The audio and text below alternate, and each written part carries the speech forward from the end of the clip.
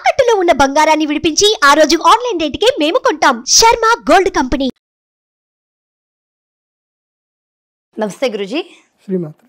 గురుజీ చేతబడి black magic ఇవన్నీ నిజంగా ఉంటాయా? ఇంకా కొంతమంది అంటారు దెయ్యాలు పట్టడము. ఇంకా కొంతమంది అమ్మవారు పూనకాలు ఇవన్నీ ఉంటాయి కదా. నిజంగా ఇవన్నీ ఉన్నవి వాస్తవమైన? అమ్మవారు నిజంగా వచ్చి ఒకరికి వాళ్తారా? అండ్ నిజంగా నెగిటివ్ ఎనర్జీస్ ఇవంతా కూడా ఉంటుందా? ఉన్నదని మనం ఎలా తెలుసుకోవాలి? శ్రీ గురుభ్యో నమ శ్రీమాత్రే నమ. ఇప్పుడు ఈ చేతబడులు ఈ దయ్యాలు పట్టడాలు ఇవి చూసేవాడికి తెలియదు. చూసేవాడు దయ్యాలు లేవు చేతబడులు లేవు ఏం లేవు కనిపిస్తున్నాయా? ఇవన్నీ చూసేవాడు బోలని మాట్లాడతాడు. కానీ వాడికయ్యి వాడికి వాత తలిగినప్పుడు మాత్రం తెలియదు. వాత తలిగితే నేను నమ్ముతున్న గురువు గారు నేను మొన్నటిదాకా నమ్మకపోతుండే కానీ తెలిసిపోతుందండి ఇప్పుడు బాగా తెలుస్తుందండి నాకు. ఇది రియలైజ్ చేసే రియలైజ్ అయ్యే వాళ్ళు ఏ కొద్ది మందో ఉంటారు. అందరికి రియలైజ్ కాదు. కాబట్టి నేను నా అనుభవం మీకు చెప్పేది ఏంటంటే ఈ చేతబడుల గురించి దయ్యాల గురించి నేను మాట్లాడడం మానేసా. ఎందుకోసం అంటే నీకు ఎక్స్పీరియన్స్ అయినప్పుడు ఆటోమేటిక్గా నా దగ్గరికి వస్తావు. నీకు ఎక్స్పీరియన్స్ కాలేదనుకో నేను చెప్తే "ఆ, ఇదేదో చెప్తున్నాడు రా అనుకుంటావు. Let you experience because experience అయిన వాళ్ళందరూ నా దగ్గరికి వచ్చారు కాబట్టి నేను నేను మొదలు నమ్మేవాడిని కాదు. మా నాన్న నాకు ఒకసారి చూపించాడు లైవ్గా చూపించినప్పుడు అప్పుడు నాకు నమ్మకం ఏర్పడింది. ఆ తర్వాత దెయ్యాలను చూపించారా? దయ్యాలది చూపించారు. నా నా దగ్గరికి ఒక దయ్యం వచ్చి చేయి తిప్పింది కూడా. కాబట్టి నేను చెప్పేది ఏంటంటే లెట్ యూ ఎక్స్పీరియన్స్ నీకు దయ్యం ఉందా లేదా నమ్మకం ఉందా అని అంటే నీకు ఎక్స్పీరియన్స్ కానీ కదా. నీకు ఎక్స్పీరియన్స్ అవ్వాలంటే కూడా నేను చెప్తా. ఏమేం చేయాలో చెప్తా. అంటే లేదు అనే వాళ్ళకి. ఆ, లేదనే వాళ్ళకి కూడా చెప్తా ఈ పనులు చేయండి. చక్కగా శ్మశానం ఎక్కడైతే ఉంటుందో శ్మశానం ఉండే దగ్గరనే మీరు ఇల్లు కట్టుకొని ఉండండి. కావాలంటే అద్దెకు తీసుకొని ఉండండి. మీకు నిజంగా దయ్యాన్ని ఎక్స్పీరియన్స్ చేయాలనుకుంటే శ్మశానం దగ్గరనే ఉండండి. ఎందుకోసం అంటే శ్మశానం దగ్గర ఎవరెవరు ఇండ్లు ఉంటాయో కొంతమంది ఇళ్ళల్లో నేను వెళ్ళి చూశాను. వాళ్ళ ఇళ్ళలో అర్ధరాత్రి కొన్ని శబ్దాలు రావడము కొన్ని ఇవి జరగడము అన్యాచురల్ థింగ్స్ జరగడం నేను చూశాను.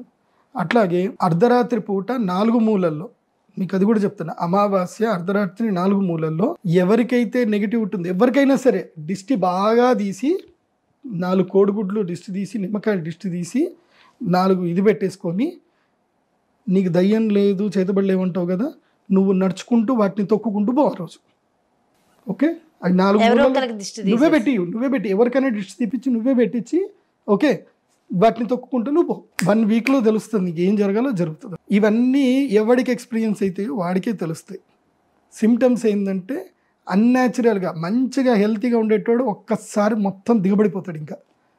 కంప్లీట్గా దిగబడిపోతారు. ముఖం మీద మొత్తం కలబడిపోతుంది. కిడ్నీలు పాడైపోతాయి. శరీరంలో ఏం జరుగుతుందో తెలియదు డాక్టర్ల దగ్గరికి పోతే టెస్ట్లు అని చేస్తారు. ఏం లేదండి అంత మంచి మరి ఎందుకు మావాడు బక్కగా అయిపోతున్నాడు? ఎందుకు నీరసపడిపోతున్నాడు అంటే ఇంకో టెస్ట్ చేద్దాం అంటారు. ఎన్ని టెస్ట్లు చేసినా ఏం తెలియదు ఇట్లాంటి బోర్డు కేసులు నేను చూసాను ఎందుకోసం అంటే ఇప్పటికీ నాకు ఎక్స్పీరియన్స్ వచ్చేసి నాకు ఇప్పుడు ఈ ముప్పై ఇరవై ఐదేళ్ళ ఎక్స్పీరియన్స్. నా లైవ్ ఎక్స్పీరియన్స్. నా నేను నా ఎనిమిదవ ఏటి నుంచి మా నాన్న దగ్గర కూర్చొని చూస్తూనే ఉన్నా కాబట్టి నాకు ఇప్పటికీ అట్లాంటి చెప్పాలంటే ముప్పై రెండేళ్ళ ఎక్స్పీరియన్స్ నాకు. ఉమ్. నేను చిన్నప్పటి నుంచి చూస్తూనే ఉన్నా. కాబట్టి చేతబడుల గురించి కానీ దయ్యాల గురించి కానీ మాట్లాడకండి. మీకు అనుభవం అయ్యేంత వరకు మీకు అది నార్మల్ అనిపిస్తుంది. అనుభవమైన అడుగు అడిగితే తెలుస్తుంది. ఒకవేళ నిజంగా నమ్ముతారు గురువు గారు కొంతమంది. ఉంది. మీరు చాలా మంది నాకు నిజంగా కాల్ చేస్తున్నారు. ఉంది. నిజంగా ఉందండి అని చెప్తున్నారు. అలాంటి వాళ్ళకి మరి సొల్యూషన్స్ ఏముంటాయి? అలాంటి వాళ్ళు ఫస్ట్ ఏంటంటే ఒకవేళ నన్ను కలవాలి అనుకున్నా నేను వాళ్ళకి తొందరగా రమ్మని చెప్పాను నేను. వాళ్ళకి నేను ఏం చెప్తాను చెప్పాను?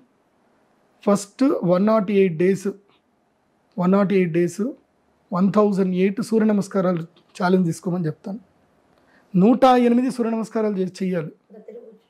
రోజు ఒక పన్నెండు సార్లు. అసలు కంటిన్యూ సూర్య నమస్కారాలు చేయాలి. సూర్య నమస్కారాలు చేస్తే ఏం జరుగుతుందంటే చక్రాస్ యాక్టివేట్ అవుతాయి. ఒకటి గుర్తుపెట్టుకోండి. కృష్ణుడు ఏం చెప్పాడు? ఆత్మైవ ఖ్యాత్మనో బంధువు ఆత్మైవ రిపురాత్మన అని చెప్పి భగవద్గీతలో చెప్పారు. నీకు నువ్వే శత్రువువి నీకు నువ్వే మిత్రుడివి. కాబట్టి నువ్వు యోగా చేయడం వల్ల ఏం జరుగుతుందంటే నీ ఆరా ప్యూర్ అవుతుంది. నీ లోపల ఒక శక్తి ఉంది. ఆ శక్తి లేకపోతే నువ్వు అసలు మనిషే కాదు నువ్వు బతుకున్నోడివే కాదు. నువ్వు బతికున్నావు మాట్లాడుతున్నావు తిరుగుతున్నావు అంటే నీ లోపల శక్తి ఉంది. కానీ ఆ శక్తిని చైతనావస్థలోకి తీసుకొని రావాలి.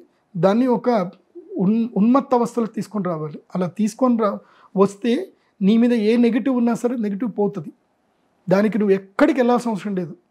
సూర్య నమస్కారాలు పర్ఫెక్ట్గా చేస్తే సరిపోతుంది. నువ్వు సూర్య నమస్కారాలు చేయకుండా ఎవరి దగ్గరికి పోయినా వాడు నిన్ను మోసం చేస్తాడే తప్ప వాడు నీకు లాభం చేయడు. నేను అనా పైసా ఖర్చు లేని సొల్యూషన్ చెప్తున్నా. సూర్య నమస్కారము ప్రాణాయామము. ఎందుకోసం అంటే మన శరీరంలోని ఏడు శ్రీచక్రాలు ఉంటాయి ఏడు శ్రీచక్రాలు ఉంటాయి సహస్రార చక్రం నుంచి మూలాధార చక్రం వరకు. సరిగ్గా మనం యోగా చేస్తే మన చక్రాల్లో ఏ రెండు యాక్టివేట్ అయినా చాలు సరిగ్గా.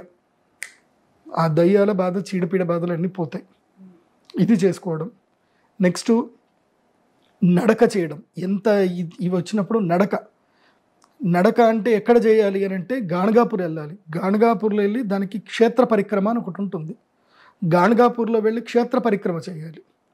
లేదంటే ఏదైనా అమ్మవారి యొక్క దేవస్థానంకి వెళ్ళి ఆ దేవస్థానంలో మూడు రోజులు నిద్ర చేయాలి. ఆ తర్వాత ఆయుర్వేదంలో ఒకటి ఉంటుంది. ఇప్పుడు చాలామందికి మందు పెట్టారంటారు. నేను మందు మొదలు నమ్మేవాడిని కాదు. కాకపోతే కొంతమందిని చూసిన తర్వాత అర్థమైంది అమ్ము బాబు ఇది కూడా ఉందిరా బాబు అని చెప్పి నాకు అర్థమైంది. కాబట్టి వాళ్ళ కోసం అని చెప్పేసి ఏంటంటే విరుగుడు ఉంటుంది మందు విరుగుడు ఉంటుంది. దానికి ఏంటంటే విరేచన క్రియ అని ఒకటి ఉంటుంది ఆయుర్వేదంలో. మీరు ఎక్కడైనా పంచకర్మ సెంటర్కి వెళ్ళిపోయి విరేచన క్రియ చేసుకోండి. లేదు మందు పెట్టింది మీకు అనిపిస్తుంది ఉదయాన్నే కూర్చోబెట్టి ఉప్పు నీళ్ళు తాగించండి. దీన్ని ఏమంటారంటే మీరు యూట్యూబ్లో వెతకండి. ఉంజల్ క్రియ ఉంజల క్రియ అని ఉంటుంది. లేదంటే గజకర్ణి అని ఒకటి ఉంటుంది గజకర్ణి క్రియ అని ఉంటుంది. లేదంటే వమన క్రియ అని ఉంటుంది. వమన క్రియ అని కొట్టండి వస్తుంది. వమన క్రియ ఎట్లా చేసుకోవాలి? వస్తుంది. వమన క్రియ చేసుకోండి. వమన క్రియ చేయండి యోగా చేయండి ప్రాణాయామం చేయండి ఓం నమ శివాయన మంత్రము లేదా కాళీ మంత్రము చాముండి మంత్రము ఇవి చేయండి. భద్రకాళి అమ్మవారి దర్శనం చేసుకోండి. తర్వాత అమ్మవారికి నిమ్మకాయలు నివేదన చేయండి.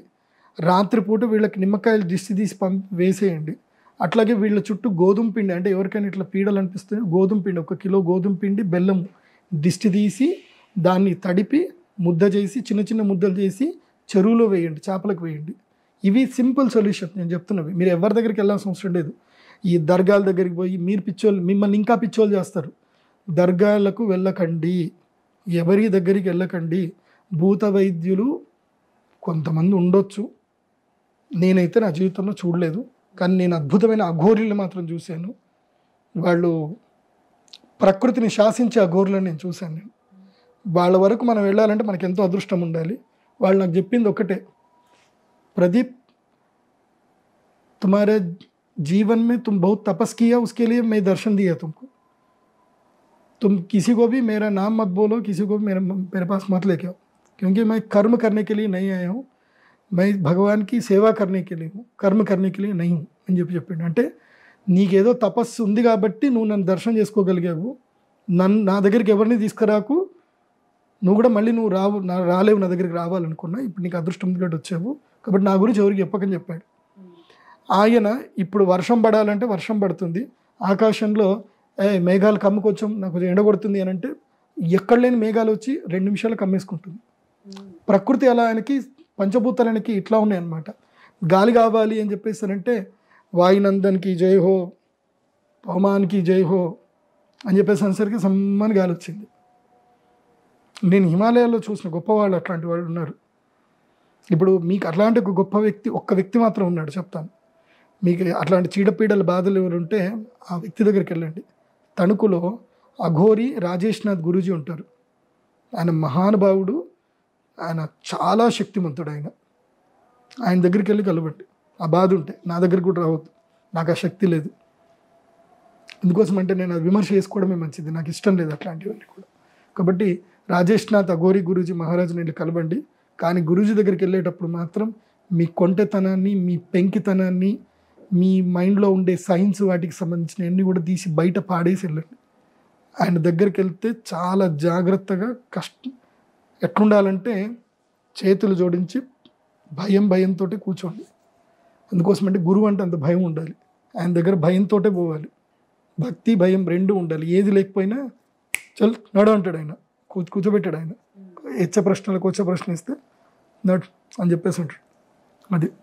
సో అయితే నెగిటివ్ ఎనర్జీ అయితే ఉంది. ఇవన్నీ ఉన్నాయని చెప్పారు. నేను ఇంకా పాజిటివ్ ఎనర్జీ అమ్మవారి గురించి అడిగా అది ఇంకొక వీడియోలో నేను డీటెయిల్గా తెలుసుకుంటా. గురుగారు చాలా చాలా బాగా ఎక్స్ప్లెయిన్ చేశారు. సొల్యూషన్స్ కూడా అందించారు. Thank you so much Guruji. నమస్కారం.